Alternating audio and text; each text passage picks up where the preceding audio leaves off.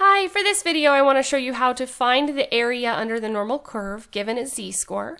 Uh, so the first one that we have is left of z equals negative 1.78. And for this video I'm going to show you how to use the TI-84. I do have another video that shows you how to um, use the table and also one with how to use the TI-Nspire graphing calculator.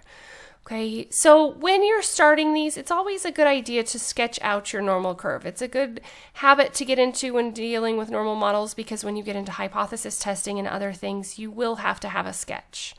Okay, so the thing to remember with z-scores is that it's for the standard normal curve, which is centered at zero, and the z-score tells you basically on a number line how far to go to the left or to the right. So negative 1.78 is almost two standard deviations below. So it's talking about this little area right here. Okay, and we're trying to figure out how much did we shade in? What is that area? Um, so to do this, what we're going to do is we're going to hit in our calculator, we're going to go to the distributions that are programmed into our calculator, and we're going to look for normal CDF.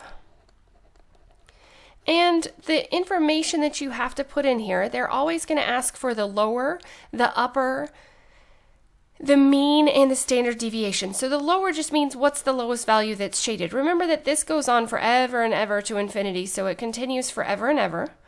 So we're basically going to start at negative infinity on this, which is negative 1 E99, which basically the E is scientific notation, and it means negative 1 with 99 zeros behind it. So it's pretty much a very, very large negative number. Okay, and then our stopping point would just be our z-score. So anytime it says to the left, we're going to choose normal CDF. We're going to start with negative 1E99, and then we're going to stop at the z-score that's given to us.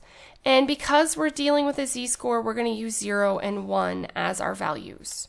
Okay, so in this case, we would type in normal CDF. Negative 1E99 would be our lower. Negative 1.78 is where we stopped shading, so that would be our upper. And then we would use 0 and 1. So let me grab my calculator. And in order to do this, what we're going to do is we're going to hit second and vars. Above it, it says DISTR. That stands for the distributions. Those are all probability distributions. And we're going to choose option 2, normal CDF.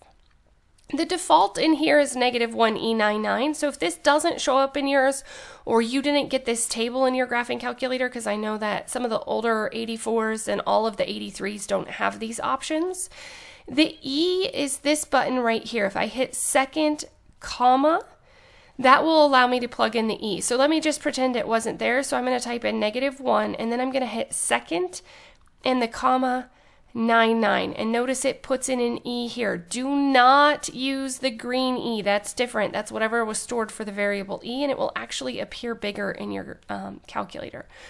The upper for this one, remember, was negative 1.78. And then I'm just going to keep it as 0 and 1 because we're dealing with a z-score. So those of you that have an older calculator, it would have just opened up as normal CDF and then an, an open parenthesis. Then you would just type it in to look like this. Okay, and when I hit enter, my area is approximately 0.0375, and that's what we would put down. So area is 0.0375.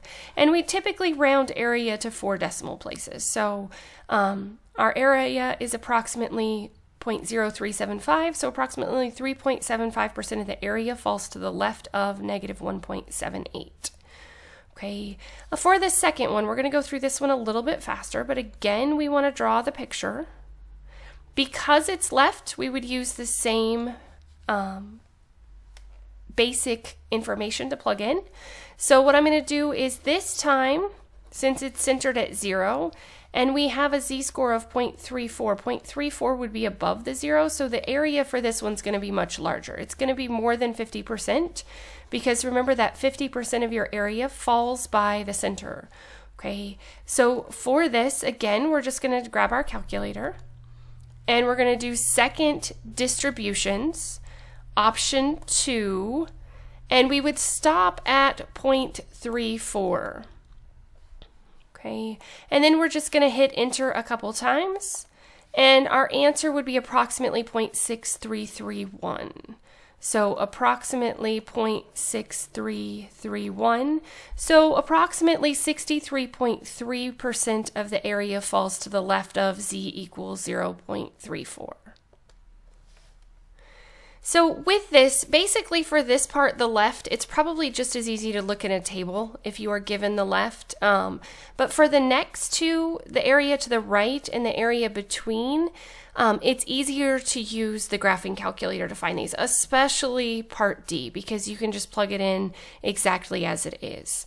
So for this one, to find the area to the right of z equals 1.23, we're going to draw our curve. Okay. Um, and then this time, because of the fact that we have 1.23, it's a little bit more than one standard deviation above. And so we would go ahead and shade this, but this time we're looking for the area to the right. So for this one, when we type it in, we're still going to use the normal CDF. But this time our lower limit is the lowest part that we shaded, which is 1.23. And our upper limit would be the positive infinity. Okay, so this time you're going to switch it. Anytime you are looking for to the right of, this is what you're going to plug into your calculator. Your z-score is going to be your lower, positive infinity is going to be your upper, and then we're still going to use 0 and 1 because of the fact that we're dealing with the z-score. So um, grab my calculator, second distributions, and we're going to choose option 2, normal CDF. This time for my lower, I'm going to type in the 1.23. My upper is 1, and I'm going to hit the second comma button, 9, 9. And then I'm going to leave it as 0 and 1. Make sure you put in positive infinity and not negative infinity. If you put in a negative infinity here, um, it will give you a negative area, which doesn't make sense. Um, so if you hit enter, we see that it's 0.1093 approximately. Okay, so our area to the left is approximately 0. 1093, so approximately 10.93% of the area falls to the, and I said left, I meant right, to the right of z equals 1.23. And then for the last one, this one is by far the easiest to do in your graphing calculator. Because if you remember from a table, you have to find the area to the left of both of these and then do the area of the larger minus the area of the smaller. Well, with this one, what we have to do is we just type in normal CDF.